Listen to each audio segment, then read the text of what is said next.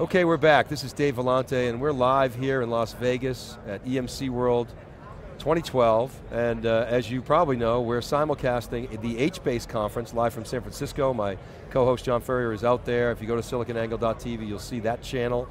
So, uh, but we hope you keep it right here because we've got a great guest, Bill Cook, the president of the Greenplum division, the former CEO of Greenplum. Bill, welcome back to theCUBE. Nice great to see you. you, always see a you. pleasure. We're here with Jeff Kelly as well. Hey, Jeff. See you, Bill. And uh, EMC World, just a, amazing show. It just keeps getting bigger and bigger. You know, they started off with cloud meets big data a couple years ago, a year and a half ago. It sounded good, and uh, now it actually looks like it's really happening. You so, didn't uh, believe us?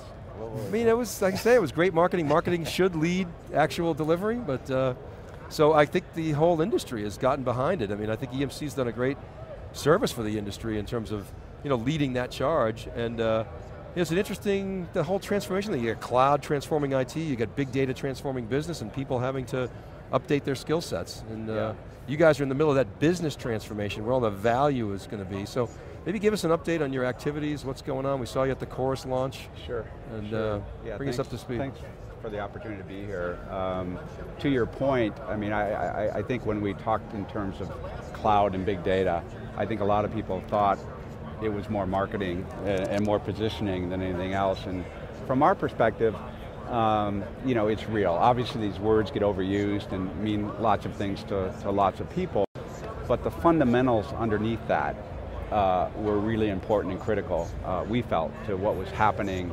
and what potentially could happen in these transformations around business with, business with uh, data at the core. And so what we've seen happen here in the last, I guess since we saw you a few months ago, but certainly in the last year, is you know that uh, the reality of that is really resonating with large enterprises around the globe. That this notion that data uh, is changing everything in these businesses of how they think about their applications, how they think about how they compete in their respective business and industries, and you know, watching, and I, I was just talking to some of the other analysts earlier uh, about, you know, when you, when you start on an early cycle of a big transformation or trend like this, and I have a bit of gray hair, so I've been through a few of these uh, with my background at Sun, et cetera. Uh, you know, the early phase of that, uh, people kind of get it, they kind of get what this is about, but sometimes